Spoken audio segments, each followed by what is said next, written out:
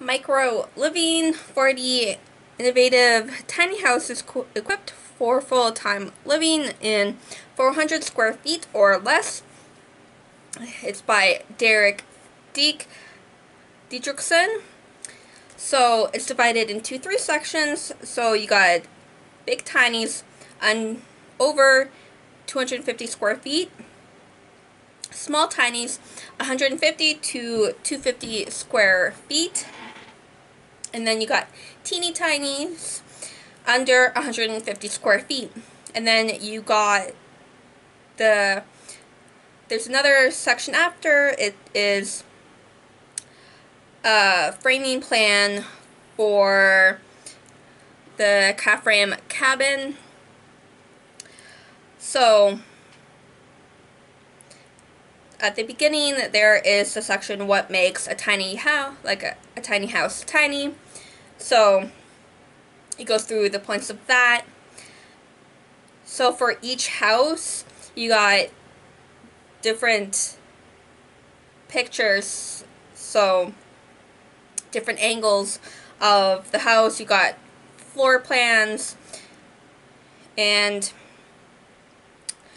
you got in retrospect what the person the person building slash living in it would do differently reflections there's a reflection of so Derek writing whatever about that house. So, so there's like different stats about it, and like you got when the where the house is, who designed it, and you got like an inspiration of what led to that house being what it is. So,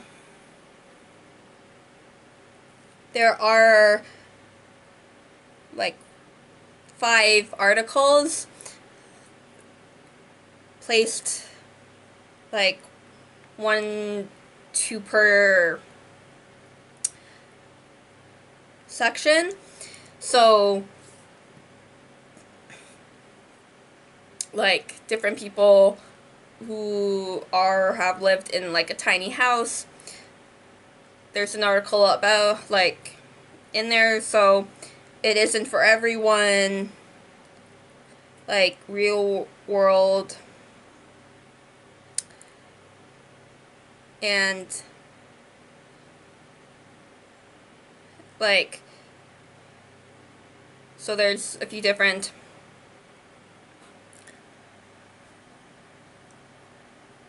So real world and in for tiny kitchen, like tiny kitchen survival. Not read my own writing for a second. But so it's tiny live living for everybody and is like doing a little like upgrading like from too tiny to slightly bigger or like leaving the tiny house altogether. There's like metric convert at the end there's like metric con metric conversions as well. So this book gives you different ideas on like if you are somebody who wants to have a tiny house of their own this would give you ideas and like if you want like a certain house like if you want one of the houses that's between 150 250 square feet, you could have a look at those houses and say, oh, well, I want that house. I can just use that plan, or you can adjust it to how you would want it to be. So, it just gives you a, it could give you ideas, inspiration for your own, uh, or like how people have done like multiple use spaces or whatever. So, like you're seeing like there are like shows about tiny homes and everything, and this is just another like resource like a physical resource whether you buy it like ebook or physical form of like you can take this or that from each different tiny house and then go from there. So, Micro Living by Derek Diedricksen. Happy readings.